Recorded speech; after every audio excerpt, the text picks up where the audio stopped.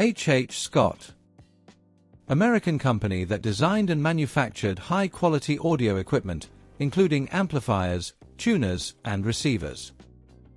The firm played an important role in the formation of the hi-fi industry.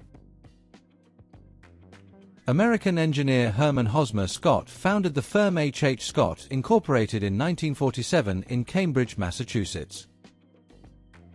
The initials HH in the name were chosen to avoid confusion with an older firm, E. H. Scott Radio Laboratories of Chicago. Prior to starting his own company, Scott obtained a degree in classical engineering and had a career of more than 15 years with General Radio. In 1946, he set up Technology Instrument Corporation, which produced its first product, the Type 910 a tube dynamic noise canceller for radio stations. This device was effective in clearing crackles and noise from recordings. On the wave of success of this invention in 1947, the company H. H. Scott was born. The business was originally housed in an old shoe factory in Cambridge. The first products of H. H. Scott immediately demonstrated an innovative approach. The very first commercial product was the so-called Dynaural noise suppressor, designed to filter out the noise of gramophone records. This device was originally aimed at the professional radio industry and for the first time made it possible to put on the air records without the characteristic crackles and clicks. In fact, Scott's invention revolutionized radio. Thanks to the noise suppressor, radio stations in the USA were able to gradually replace many live concerts with pre-recorded music. Dynaural noise suppressor models were continually improved and produced until 1956, when the last version, Model 114A, was discontinued. In addition to broadcast radio equipment, even in the early years of the company's existence, Scott was already involved in the development of high-quality consumer audio equipment. In the late 1940s, the 210A was launched, one of the first integrated hi-fi amplifiers for home use. This 30-watt monaural amplifier, with built-in phono stage, was intended for playing records and became the prototype of the subsequent Scott 200 series amplifiers. It is important to note that Scott did not initially intend to limit himself to a narrow niche. He licensed his noise-cancelling technology to other manufacturers. In the early years, Dynaural noise suppressor was installed in devices from a number of companies, including the competing Fisher Radio. However, Scott soon decided to independently produce complete audio components with built-in noise cancellation. Thus the firm H. H. Scott entered the high-end consumer audio market. In the early 1950s, the H. H. Scott continued to innovate its products and expand its range of models. A complex system of categorizing models was introduced, numbers 100 for preamplifiers and control units, 200 for power amplifiers and integrated amplifiers, 300 for radio tuners, 400 for measuring equipment, and so on.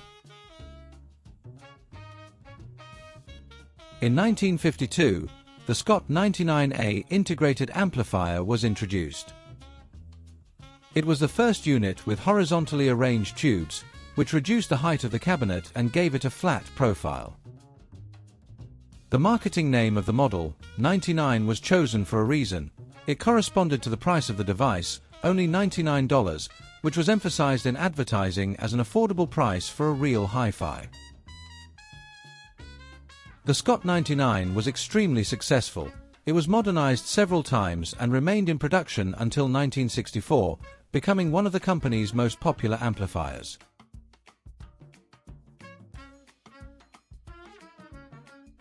Scott's main contribution to audio technology in the 50s was tuners. The company's chief engineer, Daniel R. von Recklinghausen, played a key role in the development and popularization of FM radio as a standard of high sound quality. As early as 1954, Scott introduced the first commercial broadband FM tuner, the Model 310A, which had significantly more bandwidth and linearity than early VHF receivers.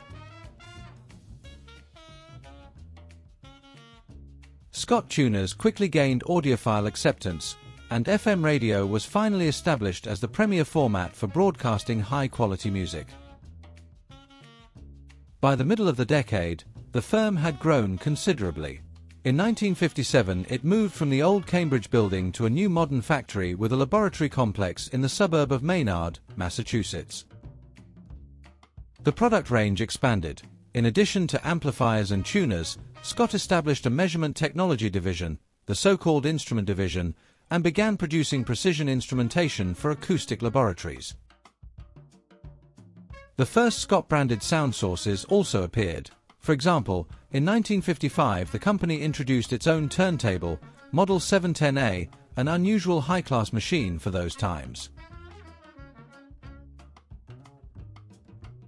In general, H. H. Scott's 1950s gear was in the upper price segment. For example, the powerful Model 280 monoblock amplifier, 80 watts, 1956, was selling for $199 and the 310B tuner for $159, equivalent to about $800 and $700 in 1980s prices.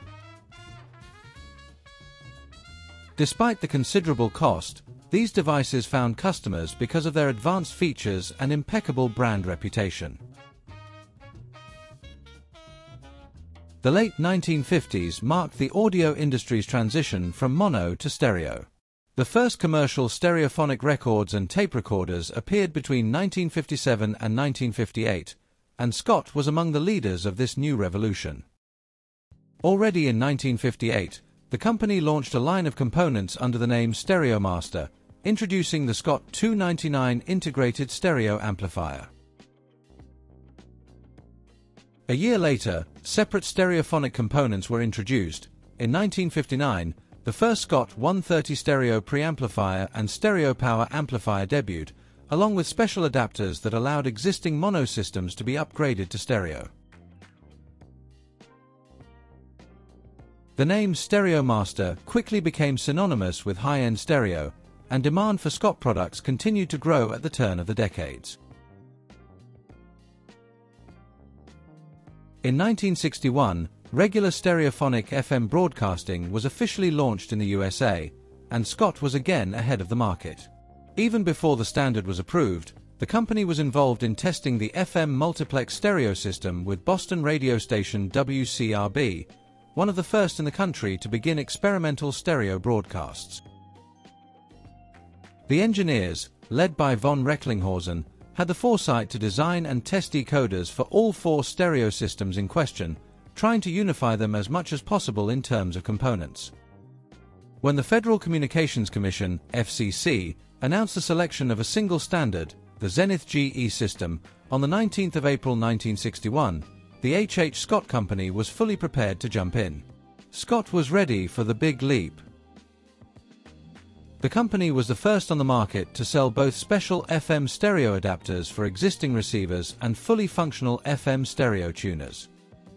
The first production model was the Scott 350, launched in 1961, which made history as the first commercially available FM tuner in the US with stereo multiplex support. Thanks to advanced purchasing of components, Scott's factory was able to build about 1,000 stereo decoders immediately after the FCC's decision, which were immediately shipped to radio stations and shops across the country.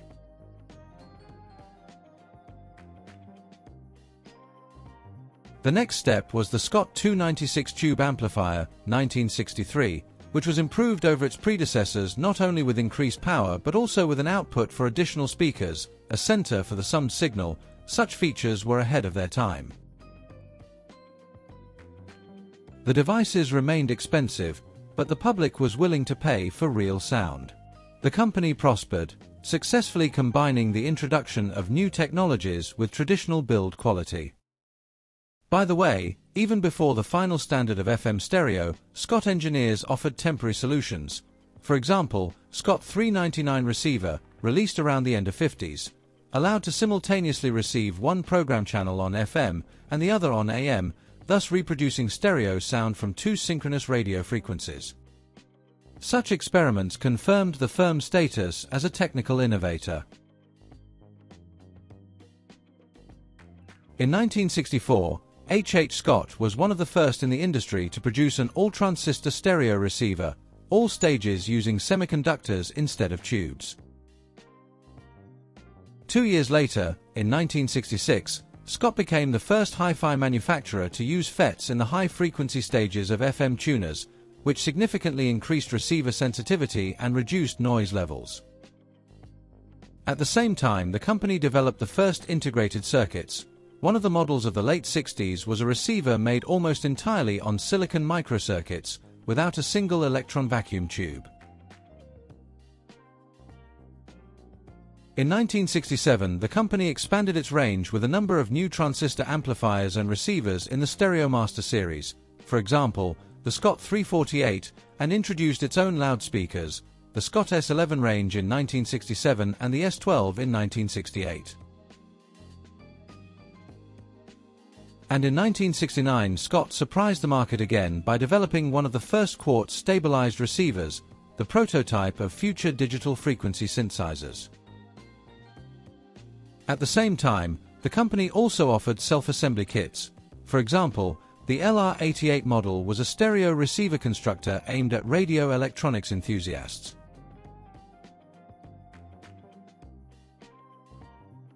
Despite the technical successes, closer to the 70s the position of American hi-fi firms like Scott began to weaken. The market was flooded by progressively more technologically advanced and inexpensive Japanese amplifiers and receivers, and the transistor era lowered the entry barrier for new competitors. Scott was faced with a choice, either withdraw into the niche of exclusive expensive premium equipment, as, for example, McIntosh did, or try to compete for the mass consumer with the industry giants of Japan. The management chose the second path, to try to increase production volumes and make the equipment more affordable without sacrificing the famous features of Scott. Unfortunately, this strategy only delayed the problems, and the quality and reliability of some new models decreased, which had a negative impact on the brand image. H. H. Scott actually began to lose the competition with such corporations as Sony and Pioneer, trying to outdo them in their own field of mass-produced equipment. Between 1967 and 1968, the company stopped producing tube models altogether and switched to transistors. It also tried to keep up with the new trends, for example, in the early 1970s the catalogue included a quadraphonic amplifier, model Stereomaster 499, and other equipment for then popular Quadro sound. But these efforts could not stop the gradual decline in sales and profits by the turn of the decade. The early 1970s were a difficult period for H. H. Scott. Intensified competition and price pressures led the company into serious financial difficulties. In October 1972, experiencing a shortage of capital, H. H. Scott was forced to stop production. In November 1972, several creditors filed for involuntary bankruptcy and Scott initiated reorganization proceedings. It is remarkable that it was in 1972 that the founder of the company, 63-year-old Hermon Scott, retired, handing over the reins of management and actually leaving his brainchild on the threshold of crisis. Nevertheless, the brand was saved from total extinction. In January 1973, the assets of H. H. Scott was acquired by the Belgian firm Cyma International, Brussels, a European licensee and long-time distributor of Scott products. Already in February 1973, the new owner resumed production at the Maynard plant. The headquarters and engineering department soon moved closer to Boston. Between the end of 1975 and the end of 1976, the company moved its operations from Maynard to Woburn, Massachusetts. There was also a change of key persons. Technical director Daniel von Recklinghausen left his post to become a consultant for Electro Audio Dynamics, EAD, in 1973. Thus, by the mid-70s, the company H. H. Scott was fully controlled by a foreign investor, although its products were still designed and partly manufactured in the USA. Under the management of Cyma, the Scott range was updated in line with the trends of the time. Loudspeakers, including the Copley range of the late 70s, were reintroduced, amplifiers and receivers were given a modern look with silver panels, and marketing emphasized high technology. In the mid-70s, for example, the Scott T33S tuner was introduced, one of the world's first FM tuners with digital frequency synthesis, PLL. This model anticipated the industry's move to digital tuning and showed that Scott engineers were still able to compete in innovation. In general, equipment in the late 70s covered a wide range of segments, from inexpensive A-series integrated amplifiers, like the Scott A416, to solid-state receivers, like the Scott R77S with 60 watts per channel.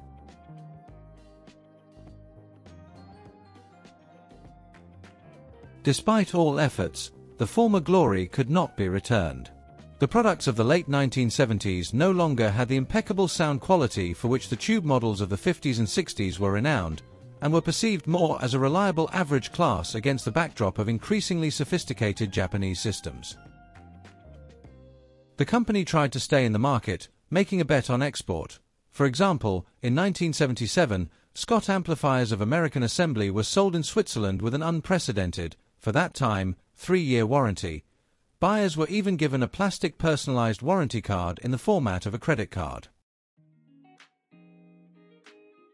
In the 1980s, the legendary name H. H. Scott finally changed ownership and actually left the big leagues of the audio industry.